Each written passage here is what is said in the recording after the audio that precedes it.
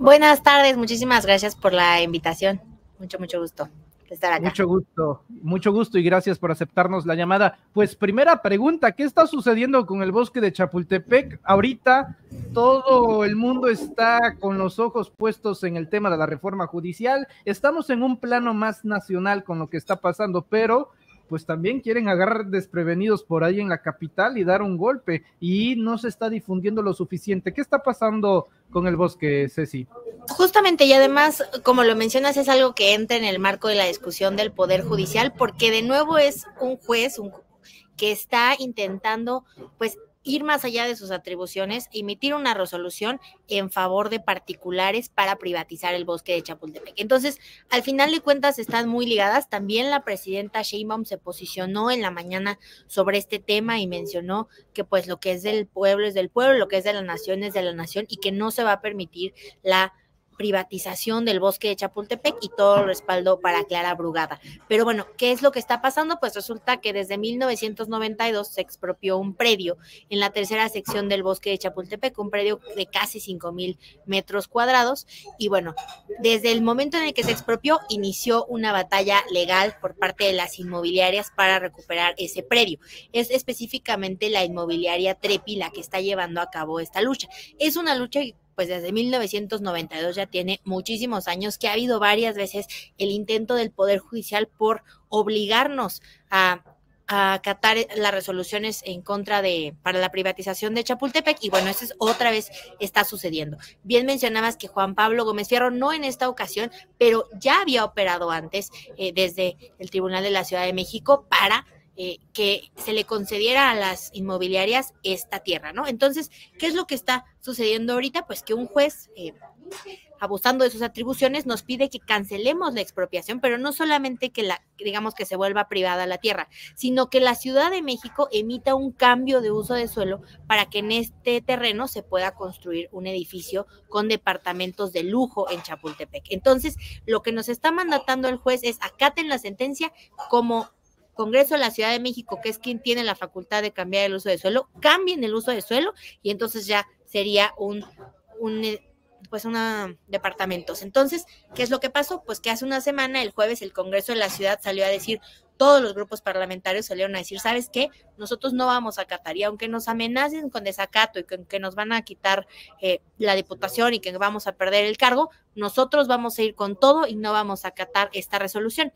¿Qué es lo que pasó el día de hoy para sorpresa de todos? Pues que el PAN salió a decir con un comunicado que no solamente ellos no van a acatar, no van a ir a apoyar el, pues, el ir en contra de la resolución, sino que exhortan al Congreso de la Ciudad de México a que acate la resolución y piden, bueno, pues que se acate y que se siga al pie de la letra lo que están diciendo. ¿Qué es lo que dice la resolución? Pues que cambiemos el uso de suelo de este de esta parte del bosque. Entonces es gravísimo porque además la tercera sección del bosque de Chapultepec, que es una sección que tiene muchísima importancia medioambiental, lo decía la presidenta el día de hoy, que no se puede ir eh, a retrasarnos en avances que tienen que ver con las áreas naturales protegidas, no podemos ir eliminando áreas naturales protegidas, por el contrario, tenemos que incrementar el número de estas. Y bueno, pues es una, es una parte del bosque que tiene aves, eh, más de 45 especies de aves, que tiene flora, que tiene además dos especies de aves en peligro de extinción. Entonces, bueno, es gravísimo lo que está ocurriendo aquí y es un claro ejemplo de dos cosas, del cártel inmobiliario, porque vemos el contubernio entre Acción Nacional, el Poder Judicial y las inmobiliarias y de los abusos que estamos viendo en el Poder Judicial. ¿Cómo es posible que el Poder Judicial, en lugar de juzgar en favor de los ciudadanos, esté juzgando para beneficiar a las inmobiliarias? pues no que los panistas eran ambientalistas y estaban en contra de los ecocidios. Una de las ciudades con más cantidad de smog y de contaminación a nivel mundial es la Ciudad de México. Eso pues, no es una creencia, es un hecho.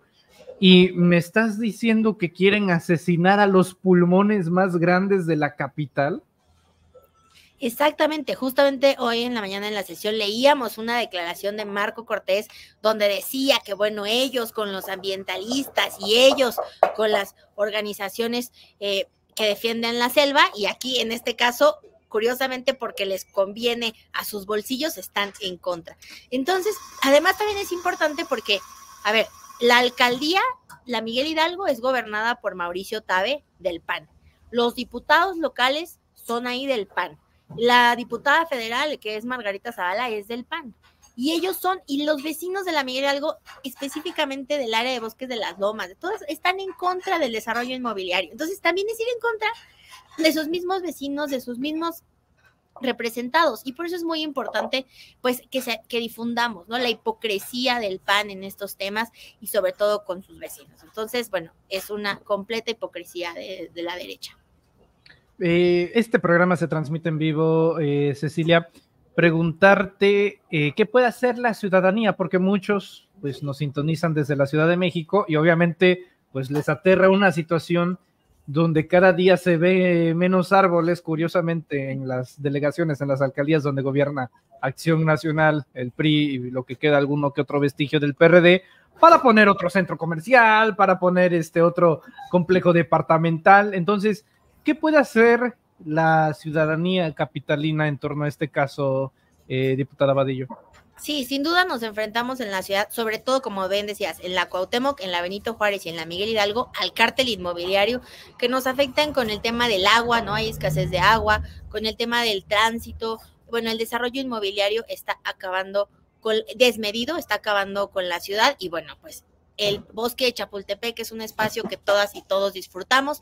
Pedirles que nos apoyen a difundir esta información. Estamos en redes sociales con el hashtag Salvemos el Bosque. Es muy importante que difundamos lo que está haciendo el Poder Judicial, pero también lo que está haciendo Acción Nacional, yendo, yendo a favor de esta resolución que nos afecta a todos los chilangos. Entonces, máxima difusión y también pues vamos a estar organizando una serie de manifestaciones y en el bosque de Chapultepec para declarar pues nuestro apoyo a que esto siga siendo un espacio de disfrute para todas y todos los chilangos.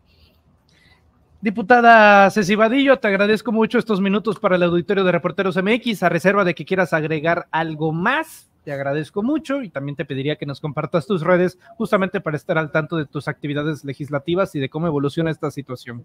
Sí, por favor, porque justamente estamos ahí compartiendo minuto a minuto. Es Ceci-Vadillo en Twitter y Ceci Vadillo en TikTok y Ceci Vadillo-Bajo en Instagram Vadillo con V. Y muchísimas gracias por el espacio y la escucha.